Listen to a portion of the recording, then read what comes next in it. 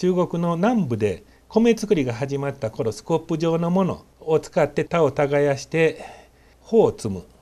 そしてあのこういう加熱の土器でまあ短期間で調理をして、まあ、炊き上げるというふうなそういうふうな生活が出てきておりそれがもう親戚時代の中で道具がそれぞれに発展していきそれまで穂を摘んでいたものが釜で根のところから買ってしまって稲のあのもみだけではなしに稲わらの部分もさまざまに利用していくというそれから動物の力を使って土を耕すような、え、装置も発明をしていくという、え、それまでの緩やかな人類の発達とは比較にならないほどの急速な文化的な変化というものがこの農業の開始とともに行われたことが分かります。